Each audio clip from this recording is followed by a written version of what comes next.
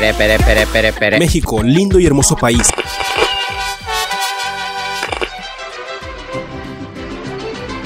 En este caso sabemos que siempre las compañías están ofreciendo teléfonos súper baratos que te dicen son los mejores del momento. Pero en este video podrás evidenciar ciertos teléfonos los cuales la compañía te ofrecen a precios súper económicos, pero no son recomendables comprar. Recuerda, soy Juan David, creador de Tecnobrin, vamos a ello.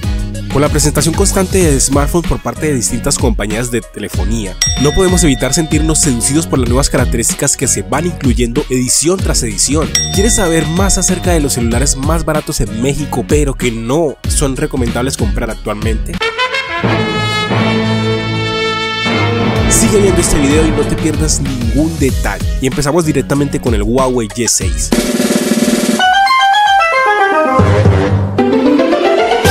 Vamos a decir mucho, simplemente el procesador MediaTek MT6761 es un procesador el cual para muchas acciones actuales no es funcional. Memoria RAM de 2 GB, espacios de almacenamiento de 32 GB, cámara frontal de 8 megapíxeles, cámara trasera de 13 megapíxeles y batería de 3020 mAh. Con un costo estimado de 3.349 pesos de contado, hay opciones diferentes de otras marcas las cuales son mejores y te ofrecen mayor funcionalidad.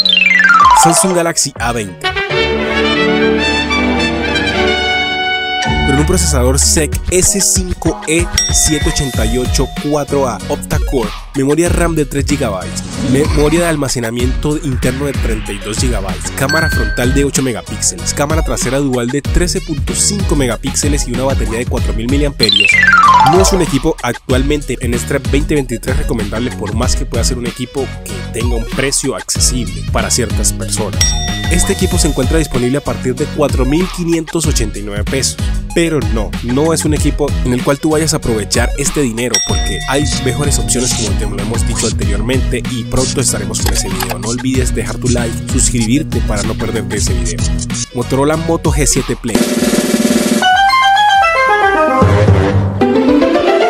procesador Snapdragon 632, memoria RAM de 2 GB, almacenamiento de 32 GB, cámara frontal de 8 megapíxeles, cámara trasera de 13 megapíxeles y una batería de 3000 mAh. El costo aproximado de este equipo es de 3.298 pesos. Por oferta y precio regular aproximado de 4.599 pesos mexicanos.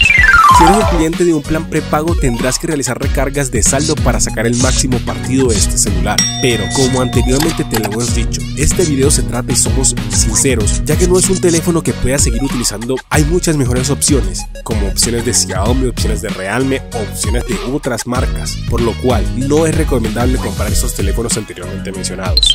Estos fueron algunos y pronto traeremos más equipos de esto. La tecnología sigue evolucionando, así que ten presente suscribirte y dejar tu like en este video, comentar o si de casualidad posees alguno de estos teléfonos para hacer el video lo más pronto posible de las recomendaciones. Te dejamos otras dos opciones de videos para que las veas. Fin del comunicado.